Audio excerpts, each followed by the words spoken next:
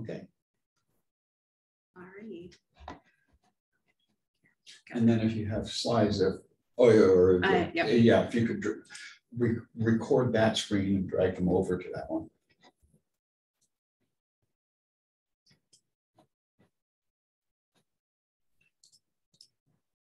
Yeah, Oh, just, yeah, um, share that screen. let's see here. Yeah, um, Big. share that one and then share screen two. Uh, the one right above it, and it, Which one? it'll work, the screen two, share the whole screen. Okay. All right. And then, um, Yeah, pull this up. there we go. And did you start the recording? I saw Yep. Is it? Yep. Okay. You can move that over to this screen to get it out of the way. There. There we go. All right, now I think I'm adjusted. Okay. Um, well, welcome. Um, thanks for joining me today to talk about C-STEP. Um, my name is Dr. Christina Cito Vasquez. I'm the director of the C-STEP program here at SUNY Oswego.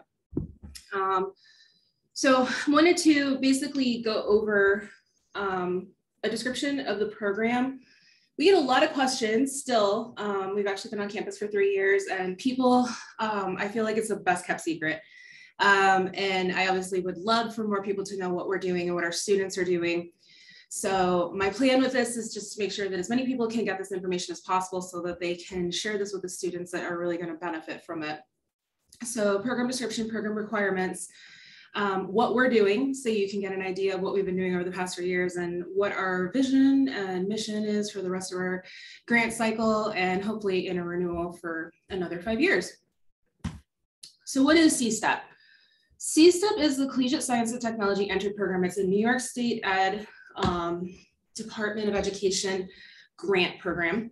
And it's focused on increasing the number of underrepresented and socioeconomically impacted students in STEM and other licensed professions. We'll go over the eligibility for students on the next slide, but these students are either underrepresented or socioeconomically impacted. Obviously, some of these things overlap with each other, but they're one or the other. Uh, focus is on providing academic and professional support to our students.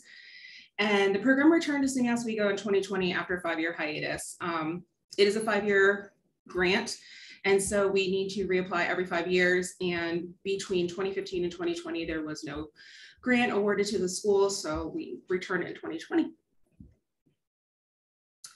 So who qualifies? Students must be a US citizen or a permanent resident. Uh, they have to live in New York State and be a resident for more than 12 months.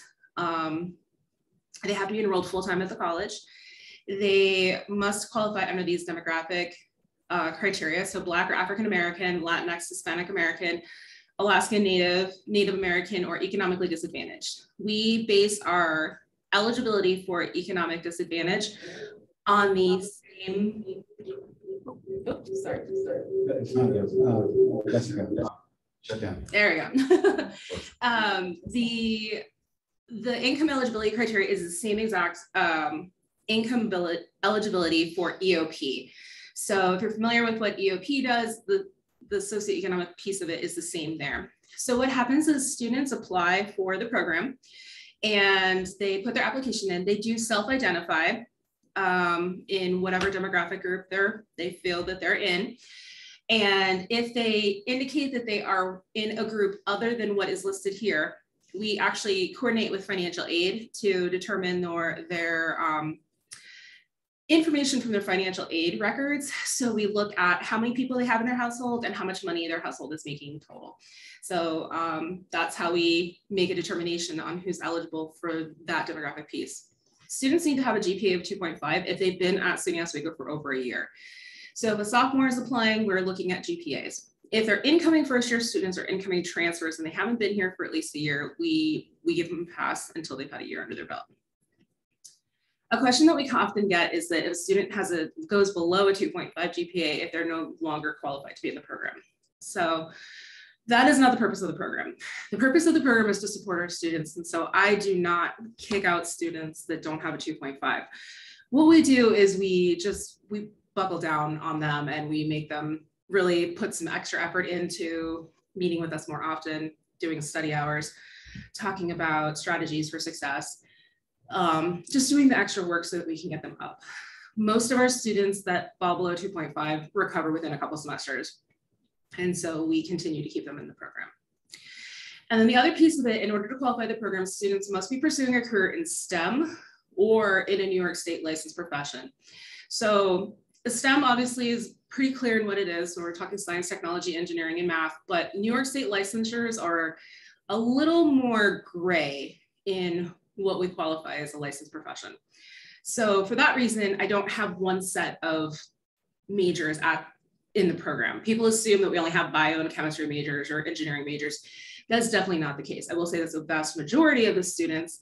However, we have philosophy students, we have sociology students, we have um, we have a number of other students that are interested in doing things like social work, counseling, anything in the future that is going to require some kind of license.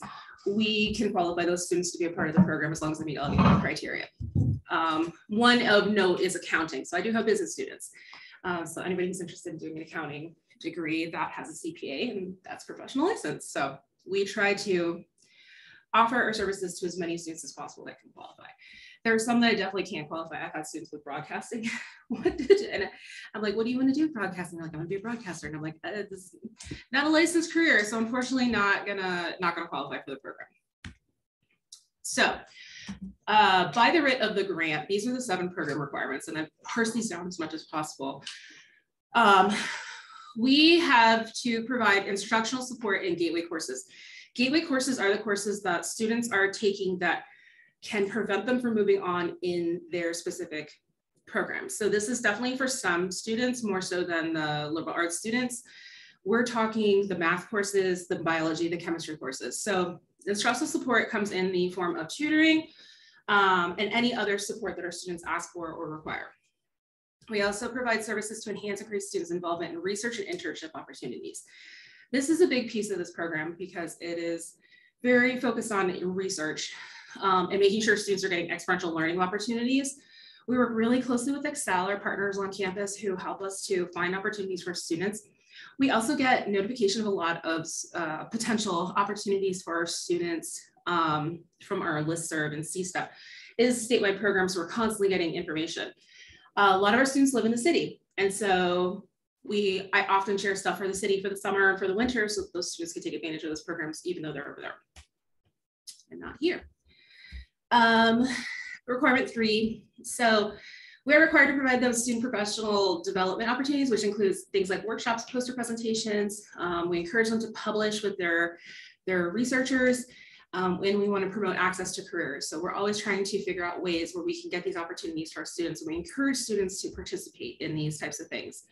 Um, we provide program services um, and a lot of different services and it's a lot of things that are going on on campus and obviously we lean on a lot of our campus partners to provide some of this because we are just a two and a half person um, team but tutoring academic counseling we do remedial and special summer courses we do a lot of supplemental financial assistance, which I will talk more about, um, recruitment, academic enrichment, career planning. Um, we do reviews for licensing exams. We also do review for graduate school stuff um, and helping them with applications. We do have a day of service requirement. Um, we have to develop and implement a CSTEP advisory committee, which we have on campus.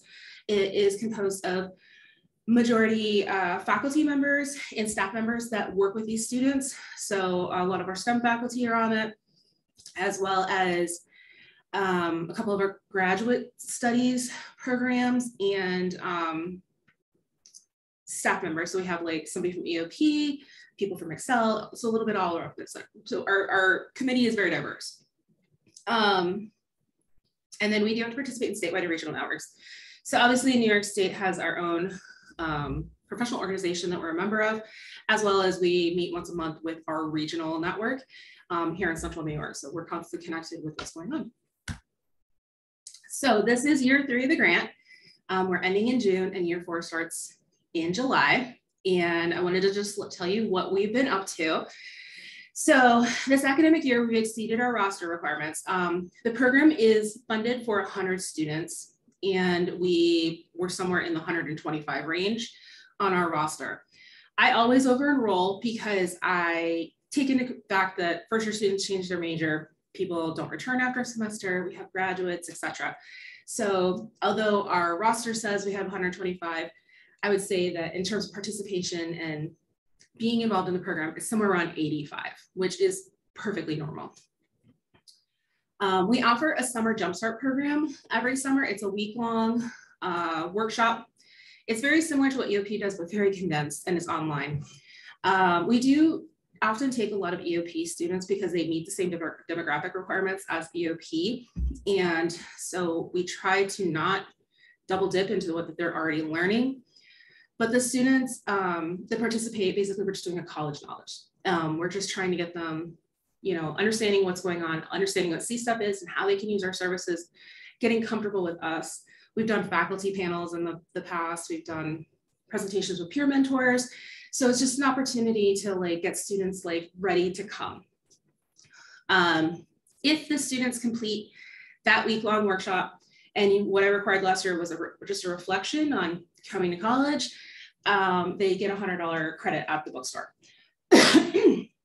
so um, it's in, it, it, it, benefits them to participate in more ways than one. Um, so we provide opportunities for students to attend alumni speaker events. We did online and in-person workshops. And we've also increased our internship opportunities and a lot of students involved in stuff this year, which has been great. This has been our first real year since COVID. Um, and it shows because the student attendance in our office has been increased. That also is due to a location change. We're now in Shineman 398. Previous to that, we were sharing space with the tutoring center over in the library here.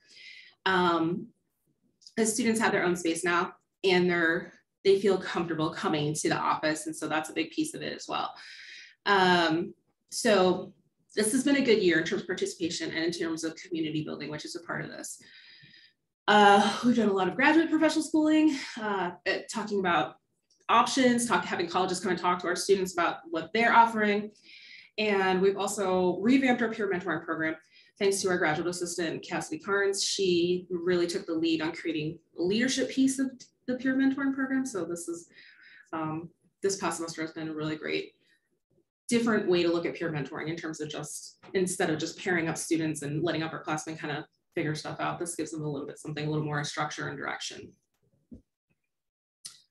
So program progress. Um, we did our service day this year. We actually participated in Makers Madness, um, which was held in March. And our students did, uh, they created DNA bracelets with children. Um, DNA bracelets are basically the beads represent different amino acids. We had different animals and they could create their animal and make a little bracelet. It was really cute. Um, we attended for the first time ever our annual C-STEP student conference. This is the first in-person one since we returned to the grant. Um, so we were limited on how many people we could bring. So um, Kristen Croyle is pictured here along with me. Uh, Kristen is the PI for the grant. Um, and then we took six students with us um, and two of our students actually uh, presented posters as part of the statewide student conference. Um, and then we hold every year a C-STEP showcase and C-STEP showcase is an opportunity for us to give space for our students to showcase their accomplishments. Um, this year we participated in Quest as part of the Quest program. Um, Kestis really felt like it was an opportunity since there was no classes, students, you know, more people would be available, um, etc. And it was great. We have no problem with, with what that turned out to be. Typically we do it on our own because I like to be conscious of the fact that our students are we want them to get used to presenting. We want them to be more comfortable presenting. And so therefore we're focusing on projects at different places. So we have students that are presenting personal projects from classes. We have students who, one student presented on their personal business. Um, we also have a student that, um, you know, presented stuff that's publishable. So it's all over the place, but we wanna give them a space where they feel comfortable where they can do that. And so that's really the purpose of Showcase and getting them used to being in front of people because we want them to continue to, you know, participate in conferences. Okay, student activities. Um, so I would say like the biggest bulk of what we do is our focus on our zero credit seminar course. Um, what we do is we ask all of our C-STEP students to sign up for a zero credit CAS 102 course. It's listed in the catalog as CSTEP. Um, what it is, is it's in place, it's a weekly meeting. And it really is, this is the brainchild of uh, Dr. Croyle, and I give her a lot of credit for this because it is genius. By giving them a zero credit seminar, it's on their schedule. They have no reason not to attend a weekly meeting or not to participate in the program if they put it on their schedule. There's no class, you know, they should know that it's there. And I would say for the vast majority of them, they realize that. And so our students come to that zero credit seminar. It's about an hour. We basically do the important bulk of the professional development pieces there. So presentations on workshops for academic skills, we do uh, professional development. So we did like interview techniques. We've done dress for success type stuff. We've had alumni speakers come to the college and speak to our students. Um, we do self-exploration. Uh, we have career services talk to us. Um, we build life skills. That was something we actually in integrated this year as a request from our students. They wanted more real life skills. So some things we talked about were like financial literacy and how to save and what you do with your money, where do where does taxes go? Um, and we also talked about like rental agreements. So just some real life skills that they're going to use as they continue to move forward to graduation. And then of course our community building, um, which is, I feel the backbone of this program. Um, our students are 60% African American, 39% Latino, and 1% other. And um, there's a lot of comfort and power in coming into a classroom when everybody looks like you. And so a big piece of this is this community that they built themselves. Like I, I provide the space, they build the community, and they have taken that and run with that um, to the point that we actually created a student advisory board that their positions are focused on social and community building. And what they do is just provide like opportunities for students to get together outside of our regular weekly stuff. So um, on the previous slide, there was a bonfire. They created that. They also helped us with our end of year celebration. Um, we've done paint nights. We've done just a variety of things so students can get together outside of the classroom. So student support, that is the wrong picture. Um, I thought I put a different picture there. Uh, so summer jumpstart program. Um, that which I discussed earlier, our math and remediation classes for incoming freshmen. So part of what we do is when our incoming freshmen come in, we check their ALEKS scores and students that are close to jumping into the next um, math section, we will reach out to them and ask them what we can do to support them. So we let them know how to work through the ALEKS modules for remediation. We also offer tutoring and we can pay tutors outside of OLS to actually tutor those students one-on-one -on -one if they ask for it. Um, we talked about bookstore stipends. Um, student stipends, this is our financial assistance for our students. Um, I have all of these different stipend programs and I give a lot of money away. And so you'll hear students say, oh, CSTEP paid for this or CSTEP did this. Um, because the purpose of our money, uh, they really encourage us to get it to our students in their hands. And so when I pay a stipend, it goes directly to the students. It direct deposits to their bank account and they pay their bills. They pay for whatever it is that they need. So some things I've paid for are rent, cell phone was gonna get turned off, need money for a cell phone bill. Um, parents are sick and need to make an emergency trip home. So transportation between spring break and winter break. Those types of things are things I paid for. I've also paid for grad school visits. I've paid for grad school application fees. I paid for students to take their GRE and their MCATs. Um, any additional financial obstacles? You know, rent is one that always comes up. Um, something happens, their financial situation falls out and they need help, or they're in a situation where they need to get out of a rental and into a new one, and that's incredibly costly. I also pay students for participation in internships. So if they need money for transportation, they need money for food. Um, last year, I was paying for our education students Uber trips back from Syracuse because they couldn't get the van to pick them up, but only drop them off. And so that's $100 each time. Um, and so I was giving them money so that they could get a ride home. Um, and any other emergencies that come up or anything that doesn't fall in these other categories is what I tell students. I've also paid, this year has been a kind of a unique year. Um, we didn't have staff for a good portion of the year. Um, we just hired our assistant director, Dr. Stephanie Wallace, and then Maddie Wallace is our administrative assistant. Um, and they're paid out of the grant. And because of that, there's a lot of money left over in unpaid salary. And so we are we do have the ability to move that money. And so we, we moved it over into student stipends. So I've been giving a lot of money away this year for things that I probably wouldn't usually give away money for. Things like summer classes. So I've paid for some student summer courses. Um, I also am helping students who are traveling abroad. So helping them to figure out their expenses outside of tuition. The purpose of the program is not to pay tuition. This is not a scholarship program. The purpose of the money that we get to our students is really to offset the costs that are outside of the regular bill. Um, and then the other stipends we have are research stipends. So students participate in research get $250 each semester that they participate in research. Again, that's to offset the fact that they're not working, they're working in the lab. Um, we do reward students that do outstanding service. So those are people that are involved in the community, whether on campus or off campus. Um, students that mentor other students get paid. Um, showcase, we, in another way to encourage students to participate in our showcase because they're so shy, is to pay them. So we always tell them that we will give you a showcase stipend. Um, and then our bookstore stipends for the summer jumpstart, but we also offer regular bookstore stipends for students every semester. Um, it is a limited number. We do about 20, first come, first serve. Um, and then if students need additional help, of course, they can apply for stipend and we can give them something else.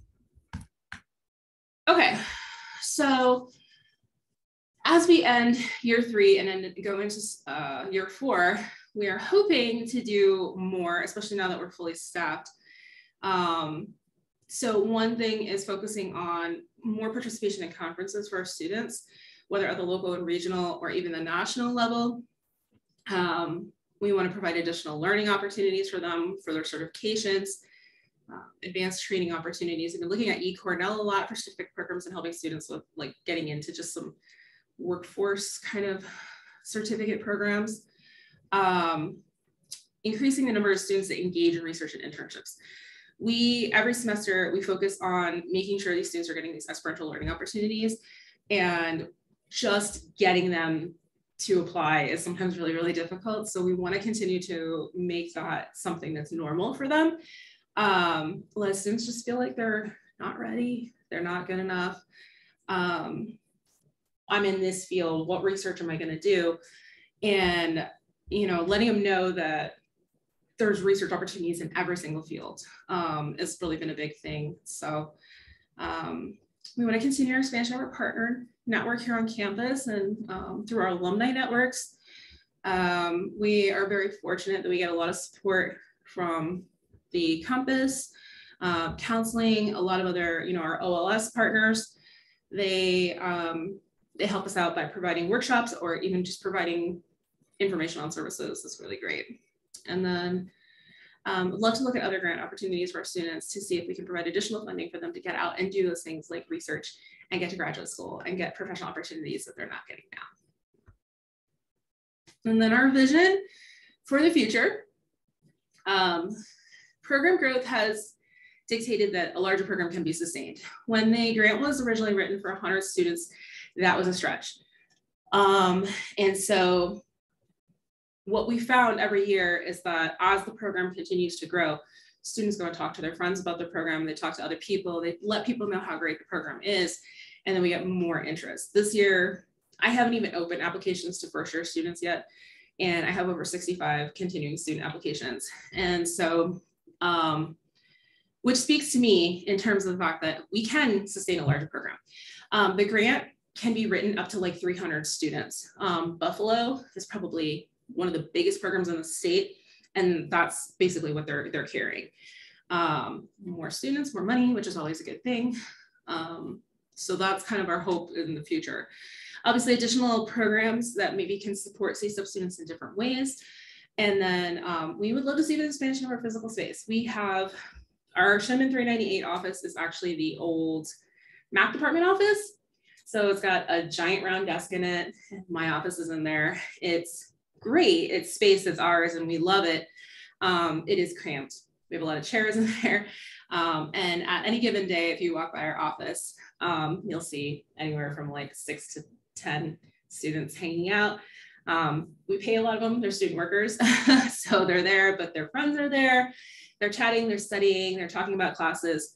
Um, and it's their space. And it would just be nice to have more space for them to feel comfortable to be able to hold study groups and do things like that. So um, additionally, and I didn't mention in our services, one thing I do want to mention is that we do borrow equipment to our students. So one of the biggest ones is calculators. We every semester we can borrow a student uh, one of our calculators. We have like every single. I don't even know what all of them do. Scientific calculators all the way to like there's really fancy graphic ones. Um, we also have Chromebooks. So if a student has a class and their their you know their laptop died, they need to borrow a laptop. I've lent them out for the semester before. Um, whatever they need, we want to make sure that we're providing those things for them. So those are additional supports that we offer. Um, I could talk on and on about what our students are doing.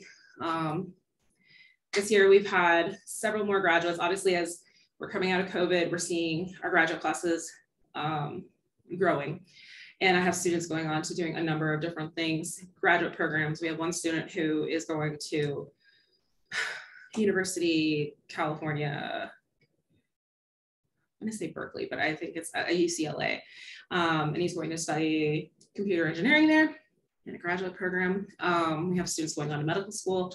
We have students that are moving on to nursing school. We have students that are doing grad programs here. Um, and if they decide to do a graduate program here and they want to continue to participate, we do welcome them because um, there is no limitation. It's only for undergraduate students.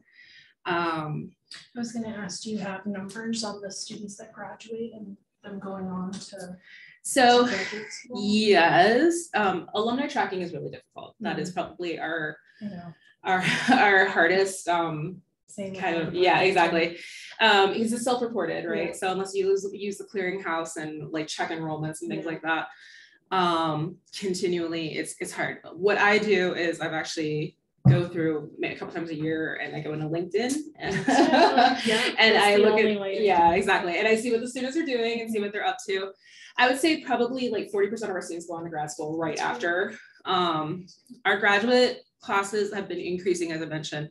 Our first year, we graduated seven students. Our second year, you know, it was like maybe 10. This year has definitely been our biggest class. I think we were what 30? Yeah, so 30 students graduate. This is these are the students that have been with me the longest. They've been with me all three years of the grant. So these are the ones that I've had since fledgling pieces of the the grant. And um, they're going on to a number of things. We've done a lot of actually post graduation talks with students about grad school and what's next and what are your next steps in terms of getting a job. Um, and I would say probably it's about 50 50. Students have plans for grad school, and then the other 50% are really looking for jobs and seeing what they can do. So that's, you know, our students are awesome. Um, so just a couple pictures of you know, things that happened just this year. Um, so we do stoles for our graduates. So if you're ever at commencement and you see these green stoles with the yellow writing, those are C-STEP stoles. Um, so when we did our end of year celebration, we invited obviously everybody and we present those stoles to our students. So um, this is a small group of them. Um, the students up at the top with the paintings, that's from our annual conference that we attended. And these two students in the bottom with the picture of me are our two presenters. They actually presented at the poster showcase at the C-STEP annual conference and one of our graduates up there in the corner. So um, like I said, I could talk forever about the things that we're doing and our students, but if there's any questions, I'd be happy to answer um, about the program, about our students, about what our plans are, etc. I had another one for you. Sure. I'm curious and, and interested about the zero credit seminar. So what is the outcome of that? Do you see that a lot of the students attend knowing that it is zero credit? It seems like there's a lot of camaraderie and sense of belonging within this group of um, students. So I was wondering, what does that look like? Is there, you know, knowing that zero credit, do you see a lot of them attending it regularly? Um, because it kind of gives me an idea even in our department, you know, Right. having it on their schedule is a great idea to kind of have that. Right. It, the, the scheduling piece obviously provides a little bit of accountability. Mhm. We see our, much like all classes, Mhm. fall attendance is at its highest. So Mhm. that's where we see the vast majority of the students attend. Um, I did mention early on that we do online. So we do have students that have um, class you know, obligations on Fridays. A lot of labs meet on Fridays, so it, there are students who cannot attend, and so we actually offer, in addition to the in-person on Friday, two additional alternative meetings which meet online.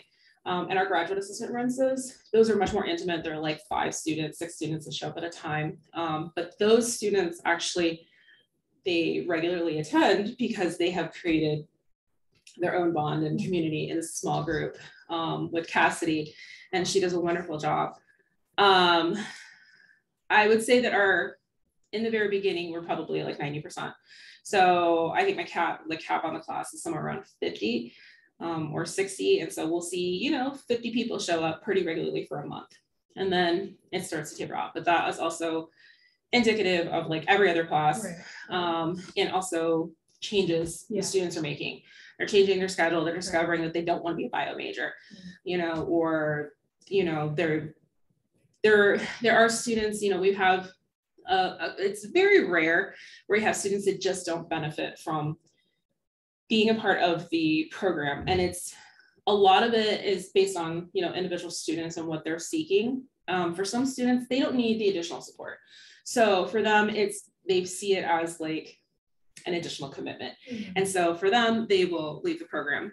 But I will say that our participation, generally speaking, is probably somewhere around 80% um, for the program, um, which is incredibly high compared to other programs. Mhm. Um, I went to the annual conference and talked to other programs, and like 20% Wow. is like a good day for them. So, and I, I do give a lot of that to that zero credit seminar because the accountability is built into Right. it. And so, like, I will have students email me and tell me they're not coming to class. And I'm like, okay, you know, they're not getting graded on attendance. They're not getting, I don't take attendance. I don't, you know, you're there. I know who's there and I know who's not Right. there. Um, It's a so, way for them to meet and see. Exactly. you know, and they seem to really enjoy the workshops and they seem to really enjoy what we're presenting to them. They Mhm. find it helpful. Um, generally speaking, they're, it's useful. Yeah. There's always opportunity for them to ask questions and to um, kind of get access to services and support that maybe they wouldn't have accessed before Right. or even known about. Every year is a surprise to me how many students have never been in career services. Mm. So bringing in career services every year, even though I have students who've been in the program for four years, starting next year, and they've seen it all before, how many of them have actually gone? So just continuing to do those regular things with them has benefited. Um, Now, do students ever um, give recommendations about kind of like what they want to Mm-hmm. see in those seminars? Like, we assess every semester and part of what we ask is like give us feedback on what you want and that's where we integrated those life skills lessons um yeah into what we usually do a lot of what i usually focus on is professional development pieces so i look at like excel um, talking about internships talking about grad school um, career services talking about what career opportunities are going to present themselves afterwards um, as well as things like academic self-efficacy you know study skill these are things i do every semester with our students and um, making sure that they know how to do things because uh, you know I, i'm a first generation college student. Um, the vast majority of our students are first generation as well.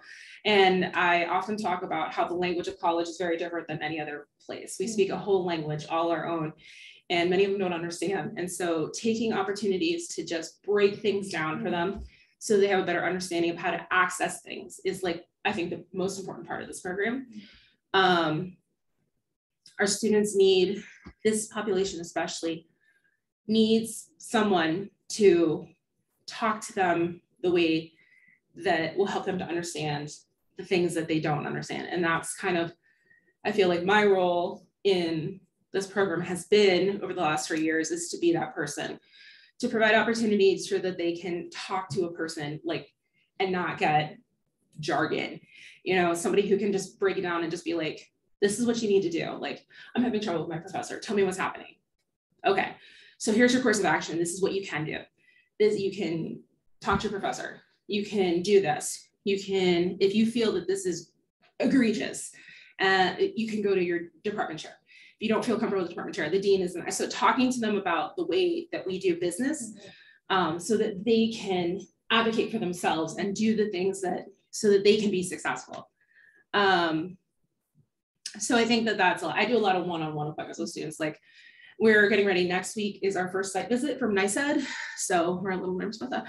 Um, but talking about how many hours I meet with students and how many things I do, like I don't even think I can quantify it because the door is open. So students plop in on my couch and, you know, spill everything. And like I know so much about these students and the things that they're facing and experiencing. And I think a lot of it would be eye opening for a lot of people to understand the obstacles that these students face just trying to get from one year to the next to finish school.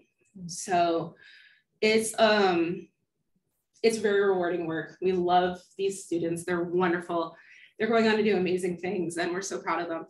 And I think that's why I love working in this program so much because the students really make it worthwhile. So um, we hope that in the next five years, this will be a continued growth program for our students so we can provide even more services for more people. In the professional development, do you talk to the students about things like retrieval practice, space practice, and interleave practice in terms of effective learning strategies? So we um, focus a lot on some of the basic skills that I, because I used to teach EDU 104. Um, so some of those basic mindset slash, um, mindset, yeah. yeah. growth mindset is a big one that we talk about. Um, and different form, like I, very cognizant that like students learn differently.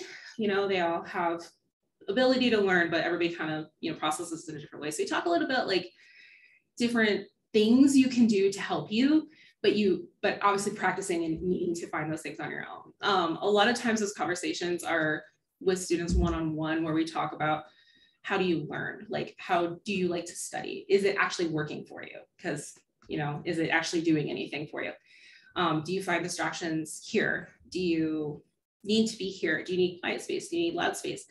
Um, are you comfortable in your dorm room? Do you need to be somewhere else? So really that's i think those conversations become more personal on those one-on-one, especially with students that are struggling.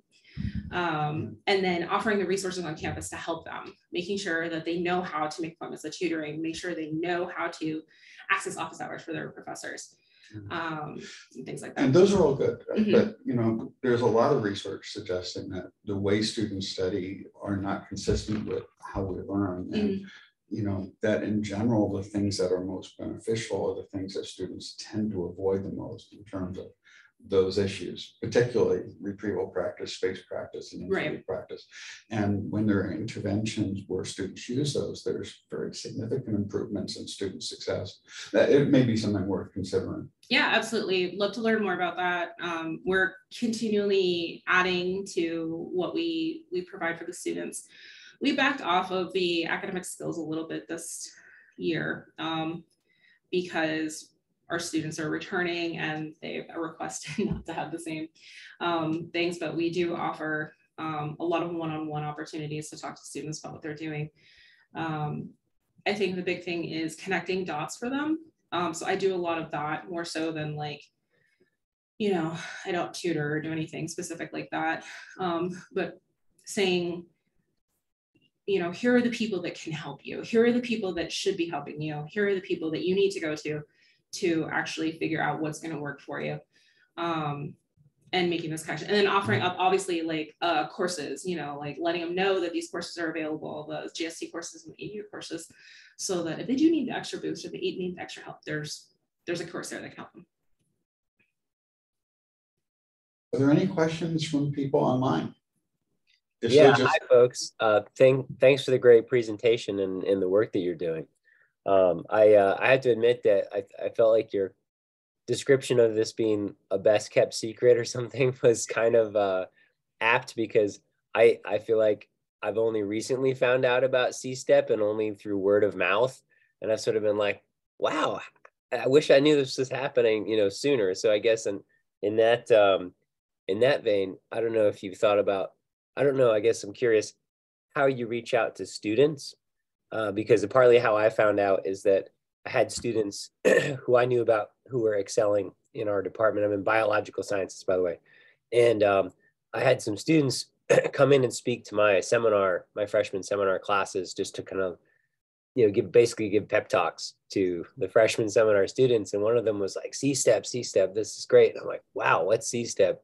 Uh, so I guess um, you know, now that I know about it, I can pitch it to my freshman seminar classes myself Um, but I don't know if if you also have some sort of outreach you do to faculty in STEM.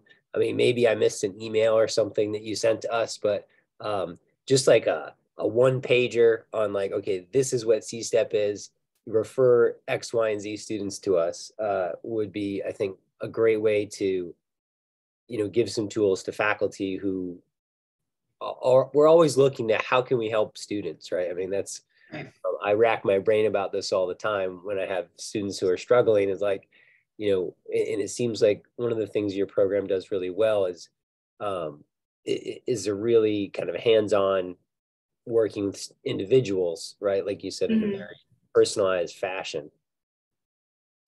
Um, so, so um, I think the hardest thing for us was we started our program in the middle of COVID.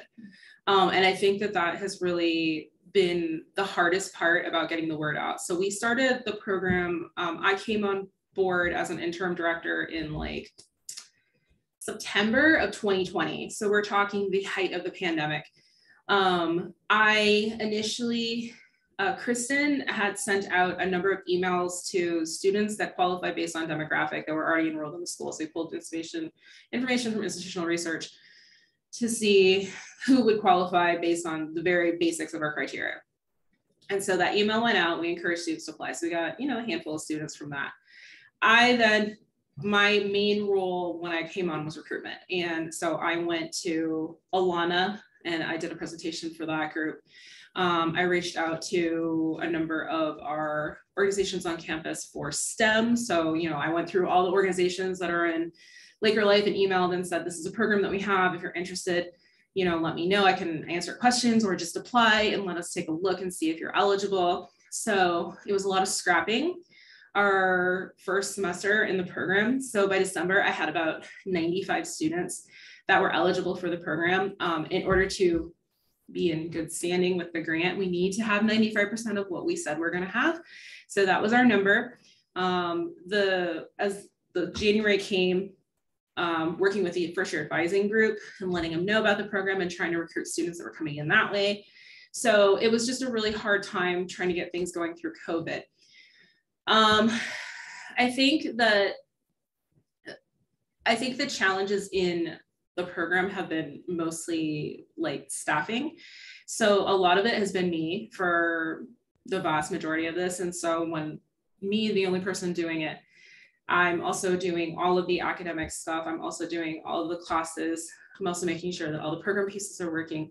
And so there are things that fall to the wayside and recruitment is definitely one, or I don't want to say recruitment because we've always, we've always maintained our roster. Um, I would say getting out and telling people what we're doing has been my biggest obstacle and my biggest challenge because um, unfortunately it is a little bit of a vacuum um, because the population is just it's small um, it's very specific and letting people know what our students are doing sometimes is not the easiest thing in the world because I have to, you know, you gotta, you gotta really have a lot of foresight into thinking about putting things out into the newsletter and putting things out into, you know, announcements and things like that. Um, so what I did last year for first year students in answer to that question, um, I was a first year advisor before I actually came into this role and I still have access to all the information in there. So I actually pulled every single first year student's email and I sent like 2000 emails last summer, um, letting people know about the program. And I said, if you think you qualify, if you're not sure, if you have questions, please just ask, but moreover, just apply because it's easier for me to determine your eligibility than it is for you to determine your eligibility. And I got a number of email um, responses and also applications that came in that way, and we filled our roster with those um, first year students. But I did talk to, um, this was actually a part of discussion in the class leadership meeting last time I was there about how do I get the word out to people. Um, and so a suggestion was made to actually send the information to department chairs and then have department chairs disseminate that information to their professors. Um, so that's the plan for the summer to let people know that we have this program, it's here, please share with your students. Um, and of course, forward any questions to me. I think um, what happens is, is I think a lot of professors mean well, and they get really stuck in the eligibility requirements of things. And they're like, oh, I want to suggest these students, but I don't think they qualify based on X, Y, or Z. And I'm like, I just put their, have them do an application because let me be the one to determine their, their eligibility. But there, there are, we do have campus partners that are putting that information out there. I just would love to get the word out to everybody about all the amazing things that we're doing. Um, and I don't want it to be a secret anymore. I want everybody to know what C-STEP is doing and what our students are up to. So sure.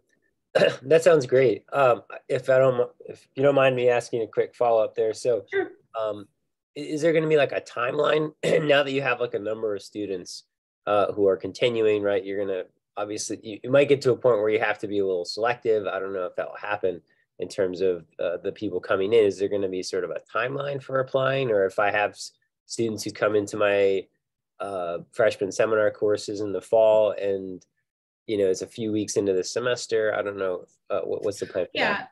that's a really good question. Um, we typically give about a month into the semester.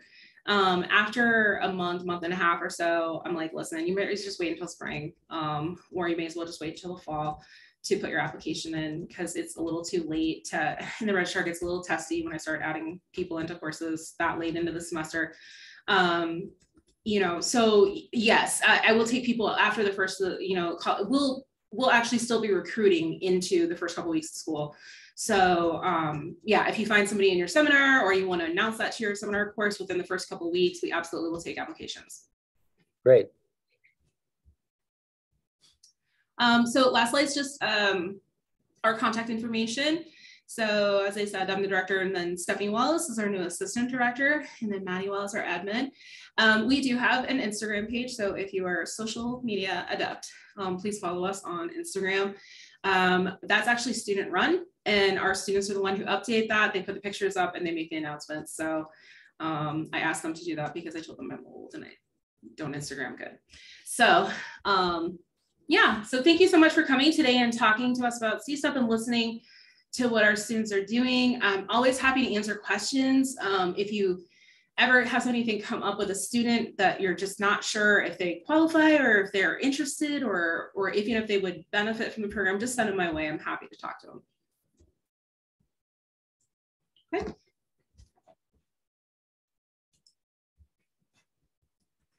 All right, and I just hit. Yes, that's the recording. Okay, thank you.